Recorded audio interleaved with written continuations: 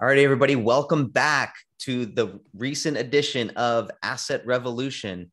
This is part three of three of our education series, where we dive dove into on episode one the DAC FP certificate program through Rick Edelman and his uh, organization.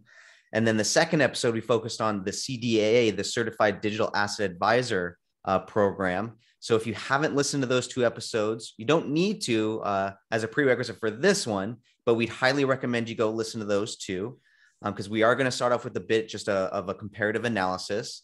And then today, what we're going to focus on with that comparative analysis in part three is other education resources that we feel that would be of extreme value to anyone, whether financial professional or anyone looking to get into blockchain or uh, crypto or digital assets. Um, and again, we'll try to keep it as concise and while there are many, many different resources and books and podcasts, we try to just make this into a smaller list so that way um, you can at least go take away one or two of these after you walk away with this, uh, after listening to this series. So uh, I'm happy to be joined again by Matt Kolesky. Matt, intro- uh, just a brief introduction again for the audience, uh, for those who haven't listened to the first two episodes. Yeah, well, if you have listened to the first two and you're still here, thanks for listening. You know, thanks for making it through the first two, and we're going to kind of wrap it up here. My name is Matt Kolesky. I'm uh, with Arbor Digital, and I'm president of Arbor Capital as well as chief compliance officer. I think talked about it before. I'm portfolio manager here along with Marc and Kirby at Arbor Digital. So I'm excited. We're going to kind of wrap up the last two episodes, bring it all together, and then really share some resources beyond just these two um, programs that we that we've been talking about. Absolutely. So let's kick this off. Let's just do a quick recap of the first two episodes. Then just uh, maybe just you and I jamming on. Sure. You know, what do we think of the yeah. two different programs? What do we, you know, what are the big differences that we see? And uh, then we'll go into the the other resources. I think there are some major players who are doing a lot of great work in the education space uh, beyond those two. But but Matt, so give me your quick quick rundown between the two, CDA, DAC FP, mm-hmm. what are your thoughts? Yeah, I think they're they're both very very good. If you are a financial professional, I think you should probably be considering both of them, especially if you're going to be adding digital assets to your portfolio. So um, definitely have a look. If you were going to start with one, I'd start with DAC FP just because it does a really good job of laying the foundation for for digital assets. And then the CDAA definitely is gets more hands on is more community around it, right? It's very, very um, uh, uh, you know, uh, community driven. So you're you're on calls. I think we talked about this in episode two, right? You're actually like engaging with your cohorts, and you can develop relationships with them. So mm-hmm. I'd start with one. You maybe do them both together because one's self paced, and the other one though is where you talked about. It's it's also um, uh, you know by cohort starts on a certain date and then finishes up. So and you mm-hmm. take an exam. But no, I, I would start with if you had to pick one to start with, maybe start with DAC FP. Um, but yeah, soup. I'd recommend both of them highly to all financial professionals that need to get educated on this. On this yeah.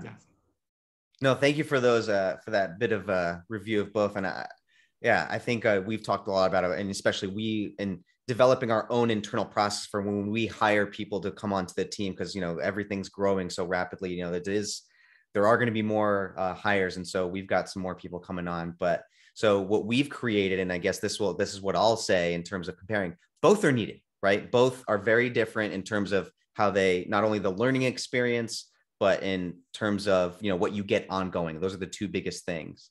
And so uh, I think you and I are in agreement. You know, the first thing you start off is is the DAC FP, right? So if you're listening to this, here's our recommendation: start off with DAC FP, get that certificate, go through that program, get it from Rick. Again the diversity in thought and language and learning from some of the uh, people that are living and breathing in this space 24 7 um, not just from the last couple of years but even in the beginning stages of this technology um, which has been around a lot longer than you may you may realize um, i think is key to getting that foundation like you said DAC FP sets that foundation yeah.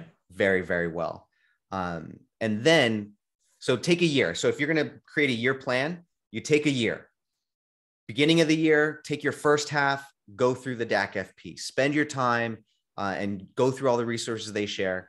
And then in your second half, join a cohort for the CDAA. This is a year long, I would say, um, journey that you should take into education. And these are the first two places I would go to. And the reason I would say you do that first before doing what we're going to talk about today is because there's so much and it's hard to figure out, okay, which ones do I listen to, pay attention to? Just use that to start and take that year. Um, and then uh, another reason is because I think uh, with the CDA, you end off with that. It's definitely more engaging. You you do your Friday calls. You actually get your hands a little bit dirty, um, and you don't have to do it on your own uh, in case you're scared and you don't want to do it by yourself. So right. um, that's our recommendation, and that's what I would say between the two. Take a year, develop an education plan. First half of the year, DAC FP. Second half of the year, CDAA. Um, and I would recommend you know do CDAA you know in, in Q3 of that year and then so that way you have the last quarter to really just experiment with all this new knowledge to go apply it and internalize it a lot more. So that way, after that full year, you have everything, and then you can start seeing where you want to, you know, yeah, do everything. Do yeah, do do that. Don't don't take them both at the same time, like what I said. Marc, Marc, Marc's got a very more pragmatic and thoughtful approach. Yeah, take a year, and then we'll talk about some of the other resources that you can sprinkle in, or even maybe use as prerequisites to both of these. Mm-hmm. Right. So yeah, good good advice, Marc. I get Thanks, so Matt. excited. I'm like, just just go, boom, boom, just go. 24 7 hey, it's it's hard not to right uh yeah. it's just such an exciting space um but I, if we're going to talk about education this is where let's dive into now the next yeah. section of this third episode it's hard not to mention you know the the hardworking team over at onramp right? And yep. so that's where I'd like to first take a second to say that OnRamp is two different, and from our learning and what we've experienced with them, there's really two different segments to OnRamp. There's the OnRamp Invest platform. Mm-hmm. So that's a platform for advisors to, if you want to start offering digital assets, invest directly into the um, into the assets themselves. I know they have model portfolios now that they can engage with. We're actively in discussions with them to possibly how we can partner, but OnRamp Invest is a platform that they have. And then attached to that, they also have what's called OnRamp Academy, which is specifically right. focused on education and not just education about blockchain, crypto assets, and things like that, but also around wealth strategies, you know, estate planning, financial planning, you know, all of that. So I think it, it, we'd be remiss not to at least give them a, a moment Absolutely. to shine here. Right. So Matt, I'd love for you to kind of talk about, you know, how do we find them? Tell them what's been your experience of utilizing them and how we deliver value uh, through their OnRamp Academy. Yeah. So Marc, this is you know, we've we've had many conversations with OnRamp, and I think they you hit it on the head. Like they produce some really high quality content for advisors to really think about.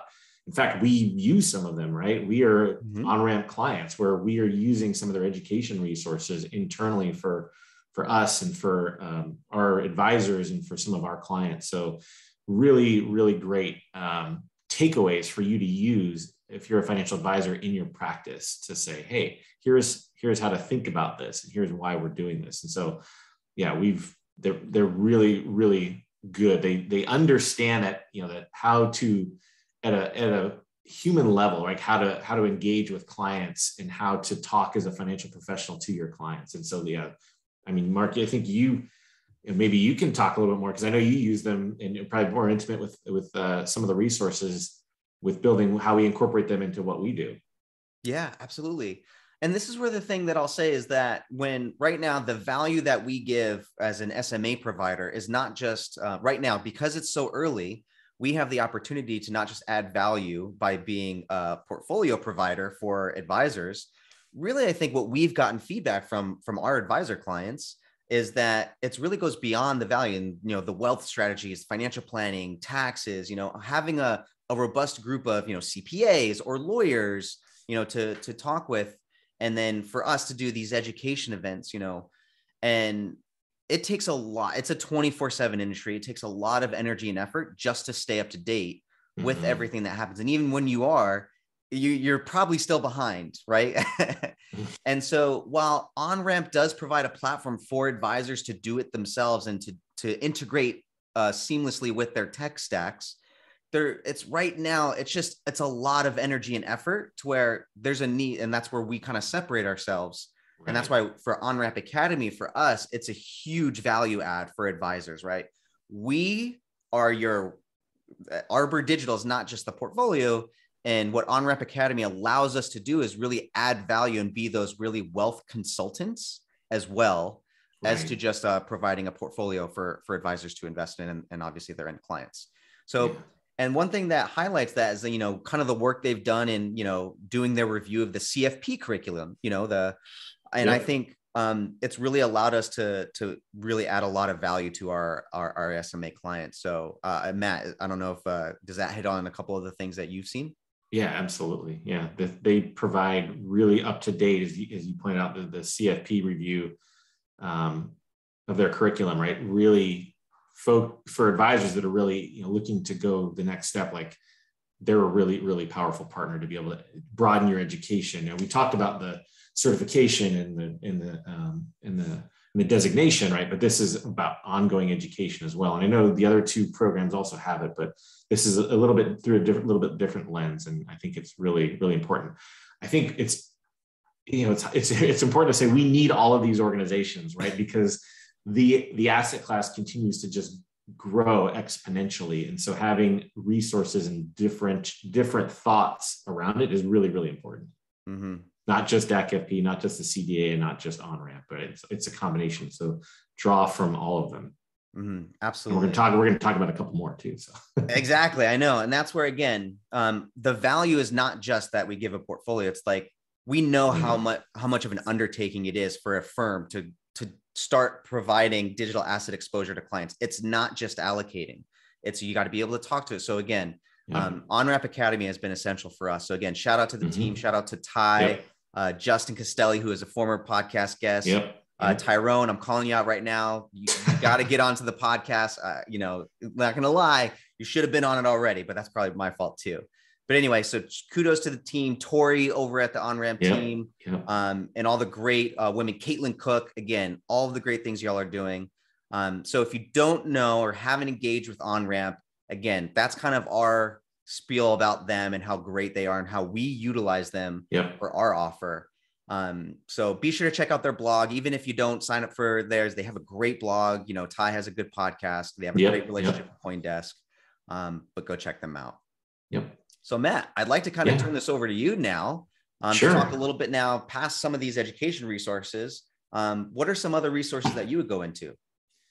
Yeah, so I'm going to go back. I'll, I'll, share my screen here in a second. So when I was getting involved with digital assets, personally, there was nothing out there for for for advisors. Right, this was back in 2012, 2013, 2014. So I was always scouring the landscape, and really one of the first people that would offer, and she calls it this no hype alternative, is was Laura Shin. So her podcast. I'm going to share my screen here. Oh, I think you need to. I can't oh, share it. I think quick. I have it's, to allow you to do that. So Laura Shin, and she just wrote a book which I have ordered and I haven't read it yet, but um, her podcast was fundamental to me. The guest that she had on over the last, you know, what four years or five years, however long she's been doing it, um, was fantastic. It because you know, there's so much just noise on YouTube and FUD. Um, so her podcast was definitely you know, one of the best and continues to be one of the best. So I would definitely listen to her. Obviously, if you want to go back and listen to all of her former guests, you know, you can, but uh, I would, you know, we can highlight some of the show notes that I think of, of, of particular. And yes, I am a former guest, but that's. I was going to say, you're not biased at all considering you and Rick were, were guests on the podcast, well, were you? Yeah, that's a good one if you're a financial professional, but also just there's a lot of I'll highlight like Rune Christensen with MakerDAO, like some that go back years to really get a sense of what people are doing and building mm-hmm. in the in the digital asset community. It's really important, right? Get rid of get rid of uh, the hype and get rid of it. Laura's one of like honestly, she's the OG. Like she was the original podcaster that had a professional, you know, appearance and approach, and she brings her you know journalistic integrity to bear in this asset class and asks the hard questions it doesn't let mm-hmm. people like get away with things which is really important so yeah top level listen to laura read her book yeah. um well, well here, real quick, oh, real, yeah. can I can I just say a couple things about Laura and everything too, about my experience? Yeah, great. Um, so yeah, Laura Shin, she's like my podcast muse, was an inspiration for for us starting our own podcast. You know, being that no hype resource. So Laura, this is a shout out to you. Thank you for all of the work you do. and again, I'm going to call you out now. We got to get you on the podcast. Uh, to be honest, she just wrote a book as well, yeah. which is a phenomenal read. Um, again, you've probably, uh, and there it is right there, the Cryptopians. Um, I won't read the whole thing. Um, it's a long title, but you won't read the whole title, but yeah. but uh, one of the things I love, it's a, it's a good combination. She really asks the tough questions. And one yeah. thing I'm trying to learn from as a podcast host is really starting to ask those tougher questions. When she brings guests on, it's really, you really can sense that she's non-biased. She's really just trying to get to the root yeah. of everything that people say. I remember listening to an episode where she had the Solana founders on yeah. And you know, again, they're a little bit younger. You know, they're they're they're pretty excited. They're they're tech guys, and you know, it's just great to like see the dynamic between like, hey, like you're, I'm gonna ask you tough questions, and you know, I'm not just gonna let yeah. you get away with you know the you know high level answers. So again, if you're someone who really needs that type of resource, Laura Shin's got to be, and it's a good balance between you know guests from the technology side and learning about the tech space of yeah. it, yeah. Um, and then understanding also all of the the other things that happen in the space. Laura, Laura was fundamental for me in my journey, you know, personally and professionally for digital assets. I, I used to live overseas and I remember flying. I would download all the episodes and listen to them on these long haul flights and just be like, list just not just like every, for every reason you just said, but but listening to her story, right? She's a you know former editor at Forbes and, and left there to go start and go all in on digital assets and you know, just I was like, wow, she just totally shifted her career. That's telling, and that that sent a powerful message, especially because you know, as she always says, her no hype, right? It's right here. Your no hype resource for all things crypto. So I always appreciated that, and you know, literally, like she is groundbreaking in mm-hmm. in uh, in not just digital asset podcasting, but just financial advice, or not financial advice, but the financial industry in general, understanding digital assets. So mm-hmm. big props to, to Laura. Another one that is really good, and he came around a little bit later, and I know Tyrone also works um, has a has an agreement with CoinDesk, and Tyrone has a great podcast. But NLW, Nathaniel Whittemore, again, no hype, no agenda, just un, you know asking and really asking hard questions. But the way he thinks about things is he you know is very different. He's very philosophical and likes to get into the the meat of it. He has a daily podcast, so it is a lot, but a lot of them are short, like somewhere like 10 to 15, 20 minutes, mm-hmm. but really good. He kind of captures right now, like he, he captures kind of what's happening in the moment and how it relates through digital assets. He did, you know, a year or two ago, he had longer episodes and, you know, with, you know, over an hour with different guests on, and he's talked about maybe going back to it, but NLW, again, huge influence, like a really good host, really good interviewer, and really understands the intersection of pop culture and digital assets and the philosophy behind it and how it's all coming together. So mm-hmm. highly recommend him. And no, I've not been a guest on his show. So we've reached out to him and he and we've engaged with him on yeah, actually he's very yeah. responsive. Yeah, which is really cool. And yeah, yeah I definitely I'll say about NLW. And again, um, a lot of his sponsors come from the crypto native space, but he is a very disciplined voice, I would say for sure. Absolutely. Um, definitely a, a big, a big on the macro. And again, his big thing is, you know, the power structure and how it's changing and evolving. Um, so I think a lot of big picture um, is is really good with NLW for sure. Yeah.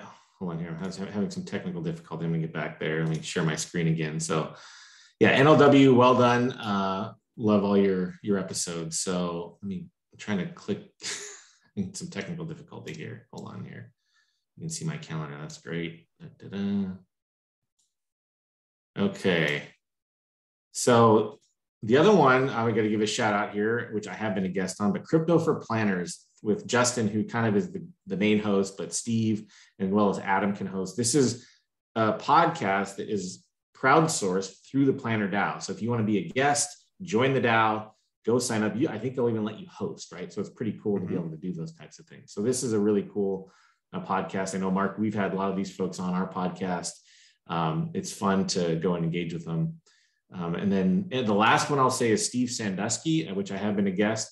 He he has multiple podcasts that he runs, and he launched one a couple, I think a year ago called the Digital Money Advisor. So specific to that, if you're interested in listening to a financial professional have guests, I know Tyrone's been on there, and he's had you know a lot. I think he just did one with Rick, right? Heavyweights in this industry talking with Steve about digital assets. Another really good, powerful resource. Um, the last one I'll say is more not a podcast, but a class that, and I think I referenced this in, one of our earlier uh, discussions. This is a class that I took and went through through Columbia University. So this is um, the blockchain in business beyond the hype. And I think you're catching a theme here, right? We really like things that don't have the hype, like Laura Shin's podcast. But this was a fundamental um,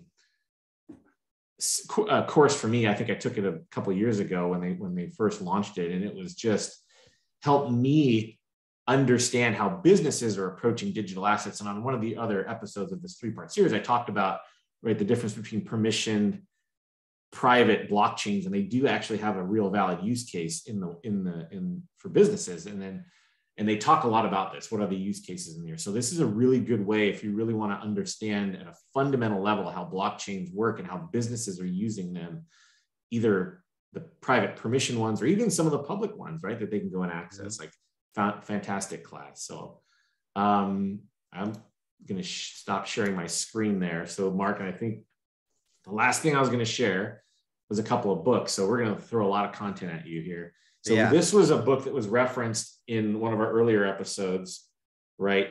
The uh, and Jack was a speaker and a at one of the um, in, in what book, Jack what book is it? This is Crypto Assets: The Innovative Investor's Guide to Bitcoin and Beyond. Hmm. So this is a really good book for advisors and just anybody out there in the community. And then some of the other ones that I think these are going to be more Bitcoin, but if you really wanting to go far down the philosophical rabbit hole, Digital Gold from by Nathaniel Popper is a great one. And then the Bitcoin Standard from Saifedean Ammous, who's you know gets uh, has his own show as well.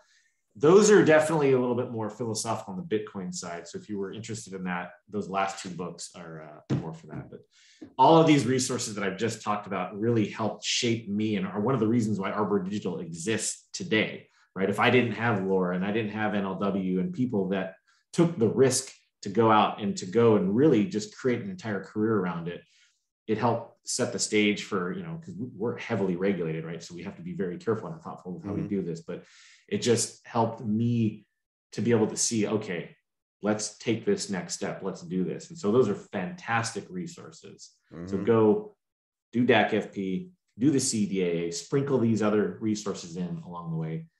And i'll uh, marc anything else you want to add there? I know i just kind of data dump for for a few minutes you can tell i get excited about this we get excited about education right? We want to share yeah. all we want to we want everyone to partake in the journey that we've gone through right? Which is you know it's it's an exciting time right? Like you can see this as a risk and you can see this and you can frame it up in your mind that this is going to be bad and and you know adhere to all the fud or you can see it for what it what it is and this is an evolution right? This is a step forward in progress.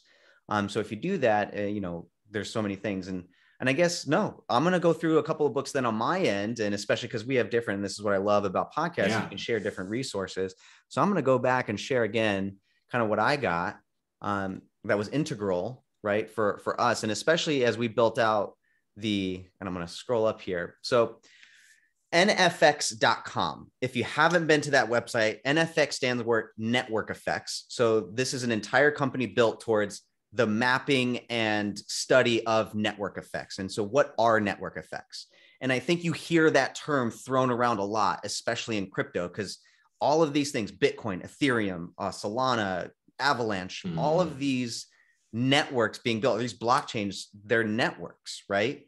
And it's changing the way we think. And especially, you know, our investment thesis, you know, uh, towards the assets themselves is all is around network effects, right? It's it's yeah. a it's a huge piece to it. So we had to do our due diligence, do the education on network effects, and utilizing what we've learned in the past, right, from these new network businesses. And you talk about this all the time. That you know, look at all the most valuable technology companies, and which what are the most uh, valuable companies right now in the S and P 500, right? Um, and a lot of them, you'll hear a lot of people say that they are network effect businesses, right? Yeah and with yeah. DLT, distributed ledger technology, which is blockchain and crypto networks, that's that um, trend is going to continue with these types of assets. So if you're going to invest in, in anything in the crypto space, you have to have an understanding of network effects. So again, this is part of how we kind of differentiate ourselves as well. You know, I think this is actually something that needs to be added more to those programs, right? The CDA, DAC yep, or any absolutely. of the blockchain. There's not enough done around this, right? So that's why I'm highlighting it for everyone listening right now. This is integral to opening your mind to like, oh, okay, I get this a lot more because it goes through the history on how networks, you know, talk about Pacific Bell or phone networks and how um, communication networks just over the history have been created and how value has been accrued in these networks. Um, so nfx.com. And then one of the specific things I'll highlight for them is the Network Effects Bible. Um, it's a massive read. And again, this kind of goes to we've done the work. It's a lot of time, energy, and research to truly get an understanding of what is going on in this space. And if if you are investing in this asset class and you don't know and you haven't done deep dives and haven't done on this specific piece, then we're saying you're not you haven't done enough. Right, um, Marc, and I, I'll just highlight and add if I, I, go back to thinking around traditional, we talk about this, right? This traditional way of thinking. If you're doing dividend discount analysis or cash flow analysis, right? you're you're going to miss all of this. Mm-hmm. You need to be open to understanding what you're talking about right here, Marc, with these network effects. And so I, you know, spot on, right? You need to be not just open minded for these DAC FP and the CDAA, but for what you're talking about right here. Mm-hmm. Yeah, and again, been trying to reach out to them, and I know they're busy and they have so many things going on. The team over at NFX, you know, hopefully we'll have them on in a future episode of the podcast.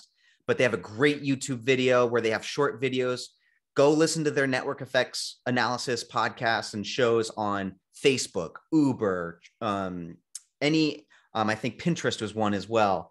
Um, and they also do the network effects analysis of Bitcoin specifically. And I'm excited for them to do more in specifically the crypto space. So check right. them out. It's a it's fundamental to your knowledge of crypto asset investing. The next thing I'll go through is a free resource, education resource, which is A16Z Crypto Startup School. Now, this originally it was like a crypto canon, I think it was called, and that was the first what I did for them, and, and it's been updated. Um, so this is where, and it's Andreessen Horowitz and his uh, his investment firm A16Z, and they offer it. And again, very simple, concise resource, disciplined around fundamentals. You know how to build crypto companies. What are crypto companies? you know, gaming, everything beyond just than just Bitcoin. Um, definitely get into A16Zs, and obviously they're investors in the space, so I can't say it's completely unbiased, but um, when Marc, when we were doing our investment thesis, right? I I think we talked about it. I used a lot of their resources to help, yeah, right, dig in, and and yeah, I know you did a, lot of heavy lifting in terms of what is our investment thesis, but they were a fantastic resource for that. Mm-hmm. Absolutely. And, and there's so much to go into. It's a big course. So, again, as part of that year long education journey, we definitely feel that this plays a part in that. So, if you do those designation programs and then you're at the end of the year, I definitely think then you go into this specific resource, a16z.com slash crypto startup school. And again, you get into, they have an introduction, the future of trust. I really love it. And again, diversity in thought, language, and knowledge you have to do that in this space. I, will say it again diversity in thought, language, and knowledge. And that's what I think this uh, course specifically does. So, huge piece here. And then I'll go into kind of more in the financial services side of things. Arca is a hedge fund and um, they have a specific digital asset arm, which we are huge admirers and huge followers of them in the space. They've done a lot of great work um, I recommend you go there. If you're, a, especially if you are a financial professional, um, go to their website, go to all of the resources they have. And here's what I'll start going. They have a blog. They actually just released, I guess, what they're calling the next evolution of what uh, an investment uh, fund is under the 40 Act. Um, it's called the BTF, Blockchain Transferred Fund. So that'll be exciting. Go read up on that. Um, they host a lot of their own conferences. Um, and again, I, I can't stress this enough. If you're looking for up to date resources, especially specific to financial services, they're they're a must, right? Um, so definitely go into their conference recordings. Um, and again, they they have done a lot of great work on the classification. And again, if you're go if you're kind of adhering to there's much more to this space than just Bitcoin and Ethereum, you have to go to them. And so that's where one of the biggest pieces I'll highlight for them is going to the different types of digital assets. And they have a great resource here going through exploring the digital asset ecosystem. So go through here again. It's ar.ca um, is their website, and then you can go into their resources channel um, there and go to their blog. Go check out a lot of their videos. Um, you're just going to get so much. Uh, again, no hype, completely. And they've been doing this work since you know well before 2016. So um, can't say enough about them. So again, shout out to the team over there at Arca. Thank you for everything you do. Uh, Matt, any anything else you'd add from what Arca does? No, we covered covered it well, Marc. Yeah, okay. Another fantastic resource.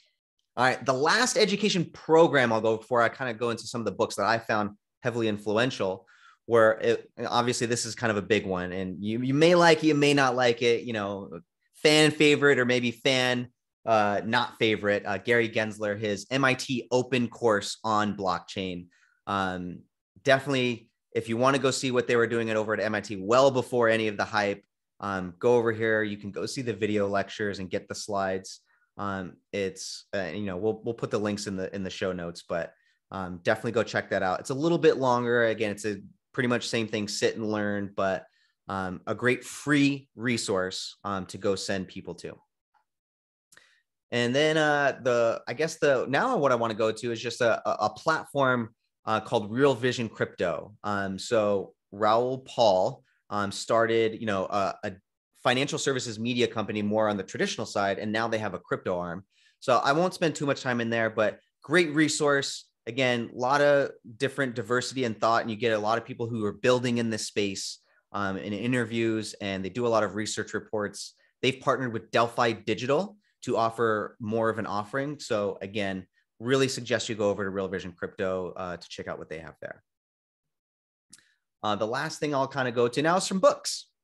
So for me, and I'm going to go through, so maybe some books you wouldn't think of when you're thinking of crypto and a little more outside that will help you open your mind a little bit more. And the two books I'll recommend first are going to be by uh, somebody named Niall Ferguson. So the first book that I read, um, which was is called The Ascent of Money, right, really dives into the history of money and how money in its current form ascended to where it is today. Really influential, especially if you're understanding how Bitcoin has been evolving. Um, it really takes you out of what do I think I know about money and really understanding it from a different lens, right? And I think Matt, you shared a couple other books that kind of go into that. Um, but this is not crypto native. It's more it, like there is some mention about crypto and about Bitcoin and how the, the next evolution of money could look in the digital age. Um, but this was in 2009, this was written. So again, really opens the mind and you'll be able to make a lot of connections that you not normally wouldn't have. And then there's a follow up book by him that I think is huge, especially when you combine it with kind of network effects, right? It's called The Square and the Tower and it's really about networks and power. And it goes into how really hierarchies and networks have really shaped societies and um, how they've been built and the power structures that live within them.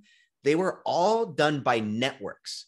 And that's i think been the fascinating thing for me about crypto is really just how much power networks have and then why network effects are so important to emerging technologies right? And that's where it, this is a history of how networks and power have evolved. And i think it's a huge learning experience and a huge opening of the mind when you really have that understanding of oh my gosh networks have actually shaped everything that have that has you know come to fruition and how our and how our systems have evolved.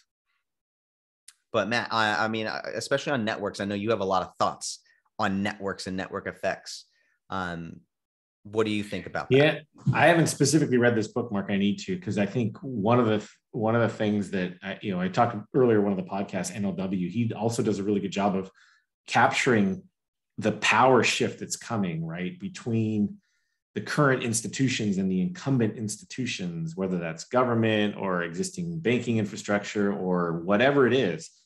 Like these networks have the power to disrupt all of them, and I think that's something that I don't know if a lot of people are ready for yet. So I had, like I said, I haven't read this book, but I, from what you're just saying, it sounds like it, it kind of is, is a correlate to that, to that theme. Mm-hmm. I'm, I firmly believe that. I mean, mm-hmm. you wrapping up a couple of ideas here, you took, you, you know, you look at the investment you were talking about uh, ARCA and A16Z, and like you've heard me say this before, it's like look at look at the traditional equity markets for clues of how technology and networks can disrupt just the traditional financial portfolio, right? What are the dominant players there? I say this, you know, we're not going to mean revert back to the 90s mm. where it's big oil and big banks that are going to dominate the S&P. So just look for clues of what's already happened in the traditional world of how these networks and the power is going to shift. And it's like I view it in my mind, it's like a vortex or this black hole. It's just going to keep getting bigger and start sucking in these other incumbent powers. And it's going to happen. And there's going to be a lot of people that don't want it to happen. Mm. Right. But that's what technology does. Because at the end of the day, right, it's technology and it's networks. Yeah. And again, this book specifically, uh, if you're listening to this, uh, again, Niall Ferguson, The Square and the Tower, I think really go, delves into the dynamics between the relationships between networks and the hierarchies that create the networks and how it disrupts traditional hierarchies and networks and this evolution over the course of history and how this has happened for centuries and it's kind of what we're seeing mm-hmm. right now right we are in the middle of it right now in the next evolution so yeah. again really good book on that uh, the last the last couple I'll go into is one called Bubble or Revolution.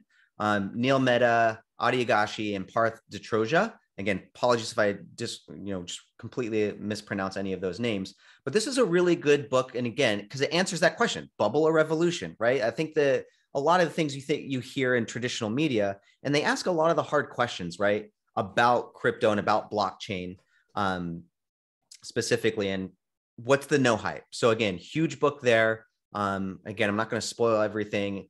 And then the last one I'll talk to again, Nik hmm, Bhatia yeah. and Layered Money. Really important book. Um, and it goes to the and again how we view money and the the um the journey of money and especially from gold to dollars and now to big Bitcoin and possibly uh, central bank digital currencies. Again, disciplined voice, more of an academic voice, and again, which mm-hmm. I thought, which I really took away from this book. Um, and again, this isn't a guy who's you know sitting here shilling coins or anything like that. This this author is all about the academic side and studying uh, the technology and especially from the money aspect. So really good book. And that's going to wrap it up for us. We've gone over podcast, book, education platforms, free, paid for, you name it. So at the end of this series, we promised that you would have at least a direction to answer the question, where should I start? So again, just to recap, take a year where you're going to go learn about blockchain and crypto. You have two programs uh, that you can dedicate time to, and then you have multi, and then you have these other programs that you could add as supplemental, and then on top of that, the books. Now you may be wondering, how in the heck did we find time to do to learn and do all that, and then also do what we do?